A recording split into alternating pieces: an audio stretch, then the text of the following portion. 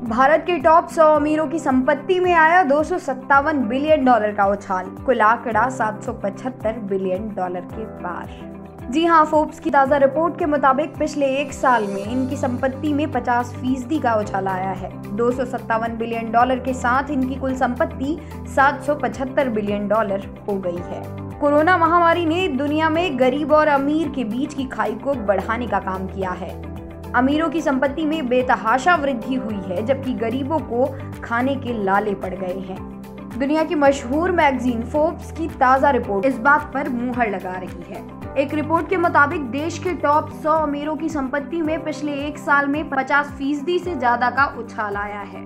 Forbes की report के मुताबिक 100 सबसे बड़े अमीरों की कुल संपत्ति अब बढ़कर 775 बिलियन डॉलर हो गई है। पिछले एक साल में इनकी कुल संपत्ति में दो सौ सत्तावन बिलियन डॉलर का उछाल आया है। इस लिस्ट में बानवे सत्तर बिलियन डॉलर के साथ मुकेश अंबानी पहले पायदान पर हैं। चौहत्तर दशमलव आठ बिलियन डॉलर के साथ गौतम अडानी दूसरे पायदान पर तो वहीं इकतीस बिलियन डॉलर के साथ शिव नडार और तीसरे नंबर पर उनतीस दशमलव चालीस बिलियन डॉलर के साथ राधा किशन दमानी चौथे। Vaccine king Cyrus Poonawalla 19 billion dollar के साथ पाँचवें नंबर पर हैं। उसके बाद स्टिल किंग लक्ष्मी मित्तल सावित्री जिंदल उदय कोटक और पालोनजी मिस्त्री हैं।